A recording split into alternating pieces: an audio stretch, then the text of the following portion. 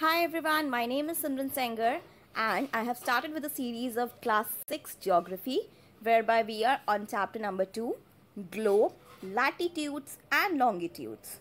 So in the previous chapter we discussed how does our earth look like and what are the other celestial bodies in the solar system. Okay, so in this chapter we will be talking about earth in particular and we will be talking about the globe. So what is a globe? A globe is nothing but a model of the earth.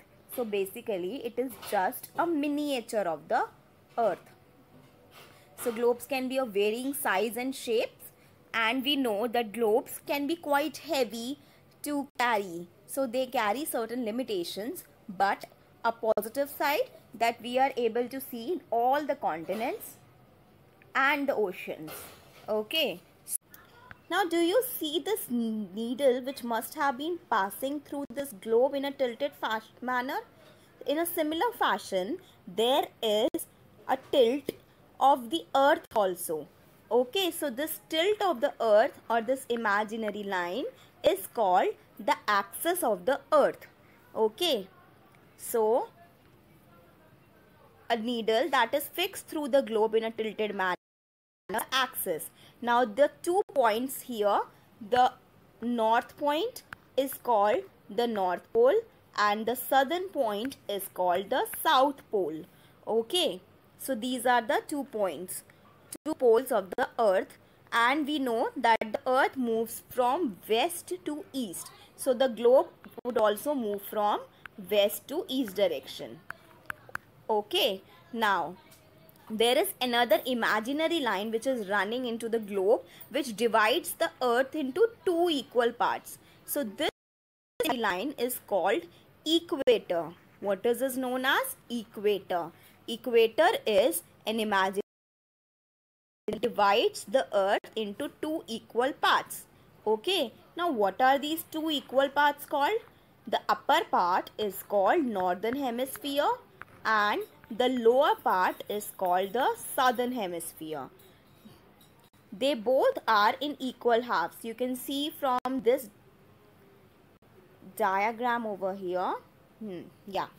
So from this diagram we can see this is our earth and it is not straight. It is somewhat tilted. Right? And this line is called the equator which is 0 degree.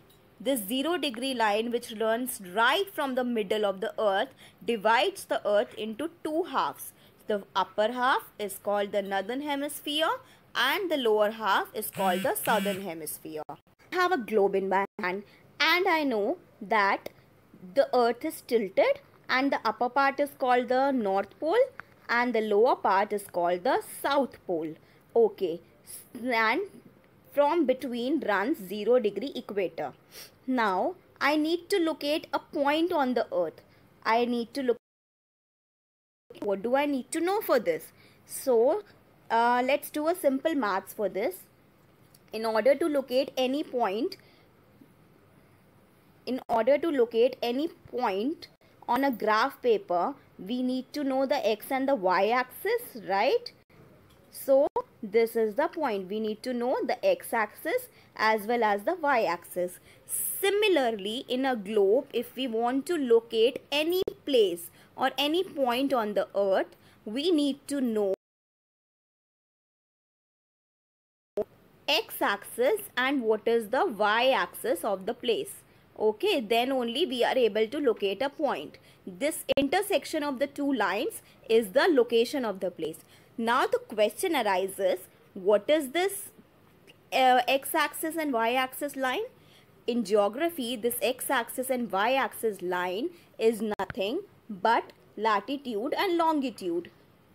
So, horizontal line is called latitude and the vertical line is called the longitude. Let's have a look at the deeper meaning.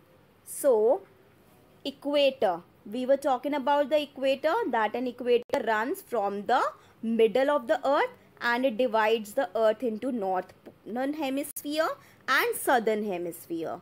So, an equator is not a line in actual it is an imaginary line it is an imaginary circular line and it is important reference point to locate place so all the parallel circles from the equator up to the pole are called parallels of latitude so as you can see in this diagram over here these circles which run parallel to each other. That is, the distance between the two are equal all over.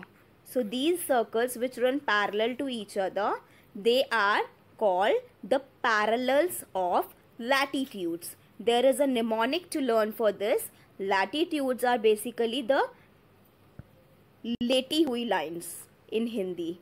So, the leti hui lines are nothing but the latitudes. Okay is the 0 degree line. From equator, the lines begin. So from equator towards the north, 20 degree, 40 degree, 60 degree, 80 degree and till the point we reach the north pole which is 90 degrees. Now the next thing that we need to know is that the distance of from the equator towards the pole is 90 degree. How come it is 90 degree? because it is one fourth of a circle that is 360 degree. So if we cancel out this it will be 90 degrees. So therefore this distance is 90 degree. Okay. Next thing. The parallels which are to the north of the equator are called the northern latitudes and all the parallels which are south of the equator are called southern latitude. This is very much uh, we can say evident as it is written over here that from the equator towards the poles towards the north pole n is written okay so this n signifies north and this s signifies south pole all right so now what are the important parallels of latitudes? Some of the important parallels of latitudes are the, the Tropic of Cancer. The Tropic of Cancer is this line. It is 23 and a half degree north. It runs from almost the middle of India's map. Okay, so it runs like this, almost uh, making India into two halves. Now, Tropic of Capricorn. Tropic of Capricorn is also 23 and a half degrees, degrees but it is in the southern hemisphere. Okay, next is Arctic Circle. Arctic Circle is 66 and a half degrees which is in the north. Then Antarctic Circle. Antarctic Circle is also 66 and a half degree but it is in the south.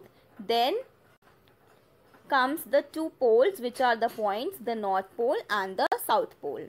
Now the next thing that we need to know is that the distance of from the equator towards the pole is 90 degree. How come it is 90 degree? Because it is one fourth of a circle that is 360 degree. So if we cancel out this it will be 90 degrees. So therefore this distance is 90 degree. Okay. Next thing. The parallels which are to the north of the equator are called the northern latitudes and all the parallels which are south of the equator are called southern latitude. This is very much uh, we can say evident as it is written over here that from the equator towards the poles towards the north pole n is written okay so this N signifies north and this S signifies south pole. Alright. So now what are the important parallels of latitudes? Some of the important parallels of latitudes are the, the Tropic of Cancer. The Tropic of Cancer is this line. It is 23 and a half degree north. It runs from almost the middle of India's map. Okay, so it runs like this almost uh, making India into two halves. Now, Tropic of Capricorn. Tropic of Capricorn is also 23 and a half degrees, degrees but it is in the southern hemisphere.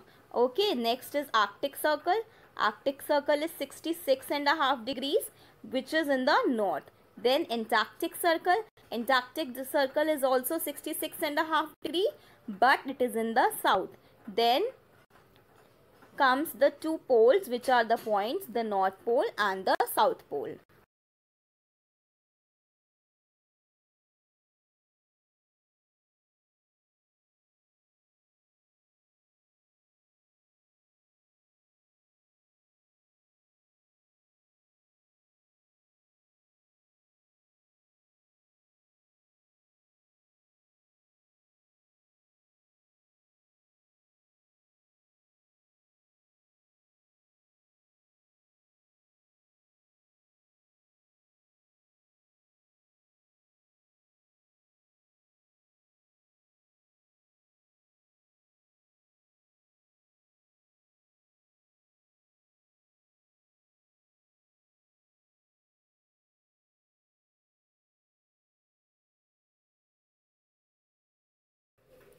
Now in order to find the location of a place, we just not need to know just the latitude, but we also need to know the longitude of a place. So what are longitudes? Longitudes are basically these semicircular lines which run from North Pole to the South Pole. Okay. Now these are also measured in degrees and they are denoted by E and W symbol. What is E? E refers to the eastern side of this central line which is 0 degree and this is called the prime meridian. So to the right of prime meridian is east and to the left of prime meridian would be W or west. Okay. So They are also measured in degrees of longitude. Each degree is further divided into minutes and minutes are divided into seconds. Okay. So, a degree is divided into minutes and seconds. Now, unlike the parallel of latitude, all the meridians are equal in length. These meridians, they are all equal in length and there are in total 180 longitudes. Okay. So, let's talk about the prime meridian now. What is the prime meridian? Prime meridian is that central line which is the 0 degree longitude. Okay, so all the countries once decided that the count should begin from the meridian which passed through Greenwich where the British Royal Observatory is located. So why did they choose the uh, this uh, place called Greenwich because the British Royal Observatory is located over there. So its longitude is 0 degree and from it we count till 180 degree east and 180 degree west. So we can say that the prime meridian divides the uh, earth into two equal halves just like the equator does but this time it is in vertical section. So this part is called the eastern hemisphere and this part is called the western hemisphere. Okay. So therefore the longitude of a place is followed by the letter E for east and W for west. Now how do we find the location of a place? Let's take an example over here. Let's say Dhubri in Assam is situated at 26 degree north and 90 degree longitude. Then how do we know that where is Dhubri? So Dhubri would be located at the intersection of 90 degree longitude east and 26 degree north latitude. So where these two lines will meet that place would be the location of whatever is your desired place. Okay. Next thing that we need to know is longitude and time which is a very important topic. So longitude and time. Time can be determined by the shadow of the moon also because look uh, earlier when there were no clocks then the time was determined by the shadows. So the shortest shadow would be at the noon and the longest shadow would be at the sunrise and the sunset.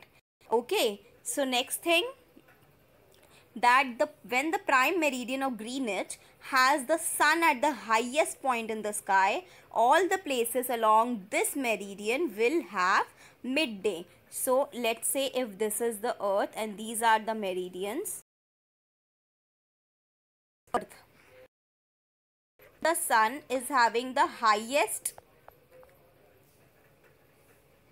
point in the sky then these places all the places which would be lying on the central longitude would experience noon. Similarly, such places would be differing in time. All the longitudes would be differing in time. Now, how much these longitudes differ in time?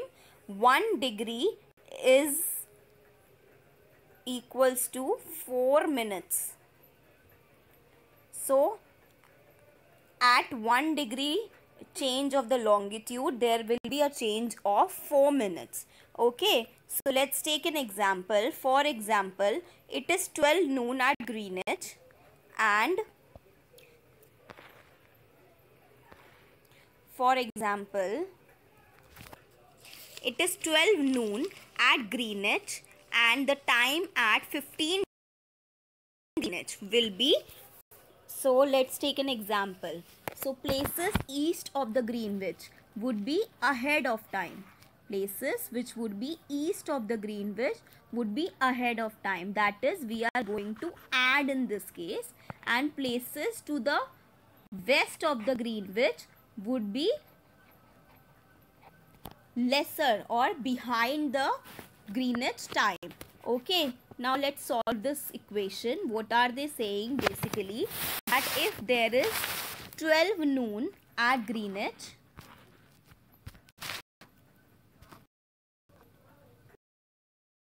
12 noon means 12 pm. So it is 12 pm at Greenwich. Now to the 15 degrees of Greenwich, what will be the time? So how are we going to find this out? We are going to find this out by solving it since we know that 1 degree is equals to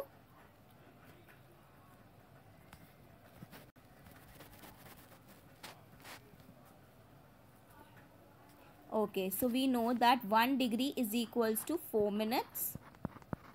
This means that 15 degree would be equal to 15 multiplied by 4. Right? So 15 multiplied by 4 is 60 minutes. And we know that 60 minutes are